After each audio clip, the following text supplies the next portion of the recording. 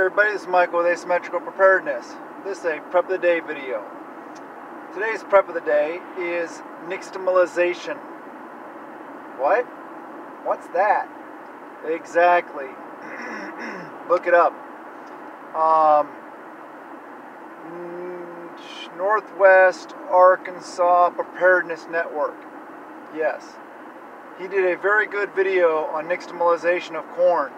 What it is, why we do it, and how to do it.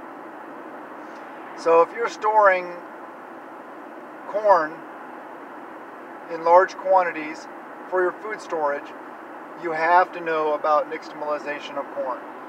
So look it up, do some research on it. This is just a prep of the day video, short little thing, so I don't have time to get into what it is and all that stuff. But look it up, very good knowledge to have. I love you guys and blessings to you and yours.